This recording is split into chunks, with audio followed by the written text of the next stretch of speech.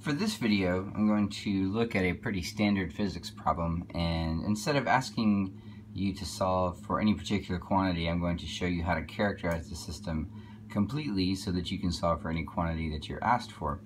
So in this particular variation of the problem, we have a ladder leaning against a wall, and there are any number of variations of this problem. Some of them will tell you that you're leaning against a frictionless wall. Some of them uh, instead of having the ladder on the floor, we'll have it as a bar um, attached to a support or a pivot. Um, so you'll see variations of this a lot, but the way you proceed is basically the same for all of it. So we'll just run through this and see if we can get an idea of how to how to solve this system. So what I've drawn is a picture of the system. Right, here's my ladder leaning against a wall. It's got a mass of m, it's got a length L, and it makes an angle theta. In this case, theta is given with respect to the floor. Sometimes it'll be given with respect to the wall, but in this case we've got it with respect to the floor. Uh, then I drew a free body diagram. So I have uh, a normal force from each of the points of contact, right? Every time you touch a surface, you get a normal force acting back on your object. So here, and that normal force will be normal to that surface, right? Perpendicular to the surface. So I have first normal force from the floor here. I have the second normal force from the wall here. And I have the gravitational force. I've put it acting in the middle of the ladder. Unless I'm told otherwise, I'm going to assume that uh, this thing is uniform. The mass is distributed uniformly, which means the center of gravity or the center of mass is at the geometrical center. So that's where I'm going to apply the force of gravity. Notice if my ladder has a distance of L, this, has, this will be applied at a point L over 2 away from this end and L over 2 away from this end. Uh, in addition, I've included two frictional forces, right? There's a static friction 1, static friction 2. The idea is that this ladder's not sliding.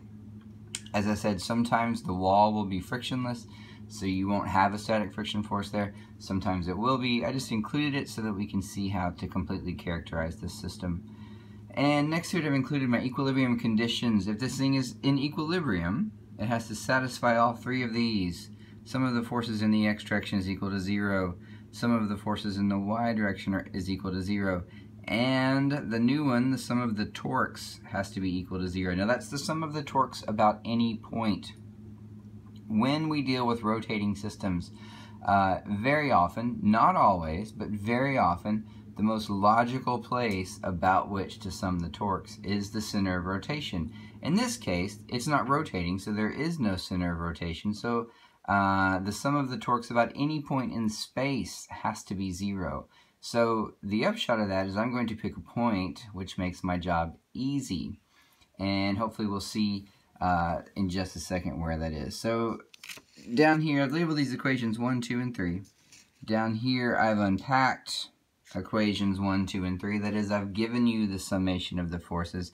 In the uh, x direction, I've got the static friction force 1 and the normal force. Let me move this down so you can still see the free body diagram. Alright, in the x direction, I've got the static friction force and this normal force. The, that has to equal 0, uh, or the summation of those two has to equal 0.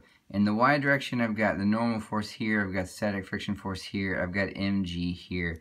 And let me just say a word about directions, right? In the x direction, it's very obvious that if this is in equilibrium, the static frictional force has to be moving to the right, or has to be directed to the right.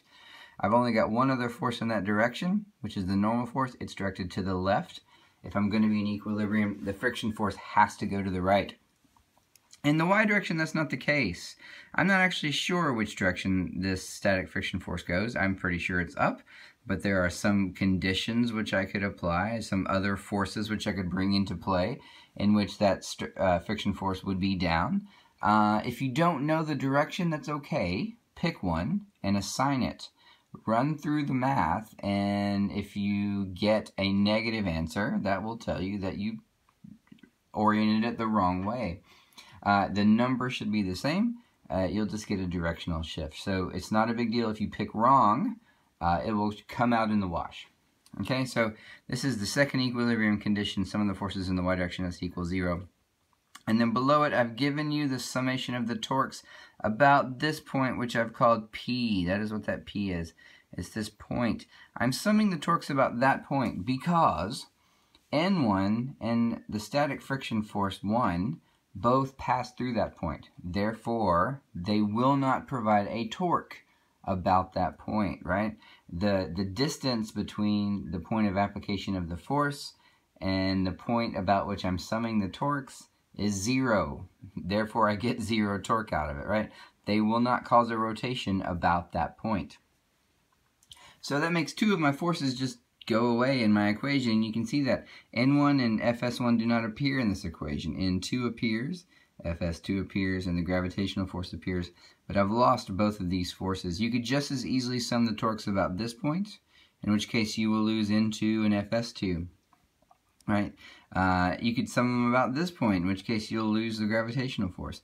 You could sum them about any point here, right? You could sum them about this point, but if you do it about this point, then you're going to have contributions to the torque from all of these forces, and that's just going to be a lot of bookkeeping. So uh, be clever, pick a point to sum the torques about, which makes a couple of these forces go away, which is what I've done here. So Underneath this, I've unpacked how I got those torques. So I'm basically running through the geometry.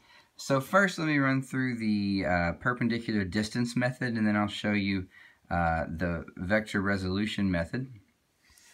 All right. Uh, for this one, for the first one, uh, L sine theta n2. Uh, so here's n2, the perpendicular distance to the point of rotation. Remember, I can I can define a distance from this point uh, to the line of action of this force in, in infinite ways. But there's only one line I can draw from this point of uh, point of summation, not rotation, to that to that line of action, which yields a perpendicular arrangement, and that is the way I've drawn it here. So that perpendicular distance, if I just look at the geometry, right, if this is theta, this has to be theta, which means this has to be L sine theta. L is my hypotenuse here. So I get that perpendicular distance L sine theta times the force N2. I do the same thing over here for Fs2. The line of action I bring down and that perpendicular distance occurs right here. Again, I can, I can, there's a, there's infinite amount of dis distances between this point and this line of action.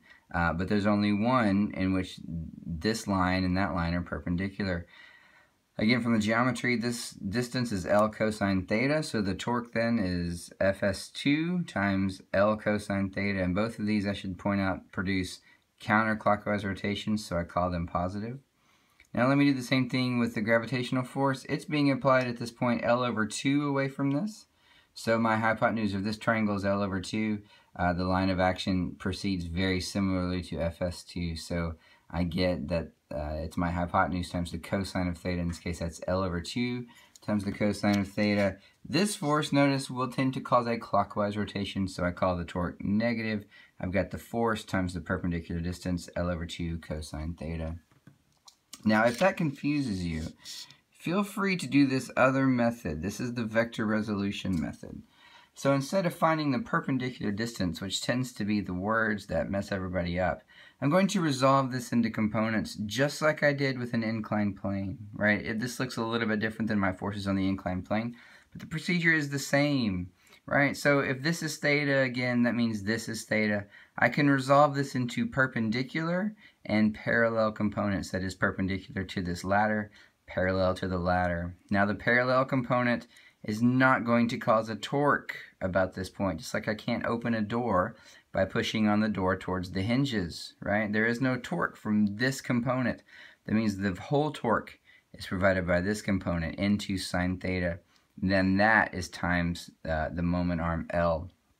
So the torque there is L, uh, the moment arm times N2 sine theta. Now let's look at what I got for the torque using the other method. I got N2 times L sine theta which is the same thing. In this case, the L sine theta came from the geometry. Sorry, the sine theta came from the geometry. In this case, the sine theta comes from the vector resolution. I'm going to, I'm going to do the same thing with the uh, static frictional force. The geometry is a little harder to see over here, but if you run through it, you'll find that this is theta, which means that the perpendicular component is fs2 cosine theta, the parallel component is fs2 sine theta, that's the one that doesn't contribute to the torque. This is the one that contributes to the torque. So I get that the moment arm L times the fourth force Fs2 cosine theta, just like I got up here, right? Again, that's positive that because that will cause a counterclockwise rotation. If I resolve the gravity, now this looks exactly like an inclined plane problem, so I expect you to be able to do this immediately, right? If I resolve this into components, this is theta. Uh, mg cosine theta then is the perpendicular component. mg sine theta is the parallel component that doesn't contribute. So, and this one, notice, will cause a clockwise rotation. So I'm going to put a negative sign on it. Sorry about this mess here. This is your equal sign. The torque due to this one is minus this moment arm L over 2 times the, the component mg cosine theta. Uh, and that's where that comes from. Real quickly, let's run over the geometry for this one. If you don't see your way through it, flip this over. All right, here's that situation. Here's my, uh, my ladder. This is theta. I can draw a little line here, which define this angle as phi. Of course, this is a right triangle, so phi is equal to 90 minus theta. And from the geometry, if this is phi, these two lines are intersecting. That means this has to be phi. But notice this is a 90 degree angle. So if this is phi, this has to be 90 minus phi, which is theta. Right? So that's the geometry there. I hope this was helpful.